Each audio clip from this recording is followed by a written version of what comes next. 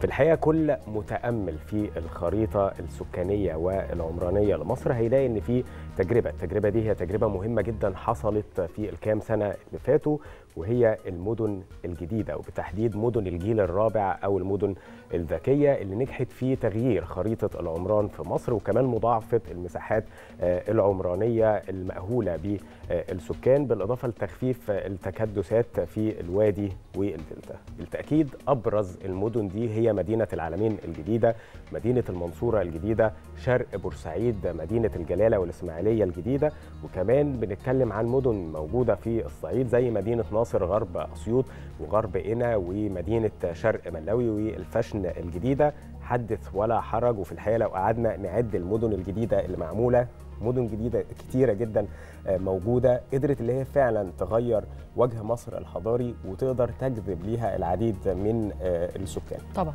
ده من خلال طبعا هندستها الخاصة والتخطيط السليم ليها والعلمي. أعتقد إن التجربة المصرية نجحت مش بس من خلال تخطيط علمي ومدروس لكن أيضا المواقع الاستراتيجية اللي تم اختيارها لهذه المدن الجديدة اللي بتقع على محاور كتيرة جدا للتنمية وشبكة طرق كبيرة على أعلى مستوى من توافق للمعايير الدولية.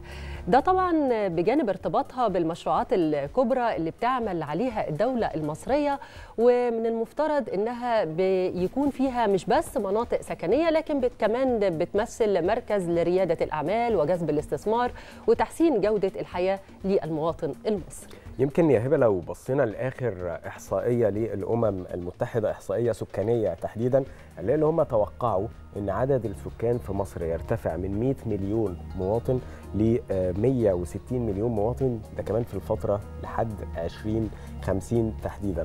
أعتقد يعني تضاعف كبير جدا في عدد السكان وفي ظل يعني عدم خروج استيعاب المدن الجديدة بالزبط. أو مدن الجيل الرابع بالظبط. وفكرة اللي إحنا قعدنا سنين وسنوات وسنوات عايشين على مساحة صغيرة قوي من الوادي والدلتا فكان استحالة يعني هذا التكدس الكبير جدا من السكان تستوعبه الفترة الحالية أو المساحة المأهولة بالسكان وفي نفس الوقت إذا كانت استوعبته هنلاقي العشوائية وعدم التخطيط وأيضا تأثير على النمو الاقتصادي في نصيب الفرد فبالتالي كان في أهمية كبيرة جدا للمدن الذكية أو مدن الجيل الرابع لأنها بتخلق مراكز حضارية جديدة وبتعتبر مناطق جذب. هذه المناطق هي مناطق مستحدثة خارج نطاق المدن القائمة. علشان كده كان المخطط إن هي تستوعب 30 مليون نسمة.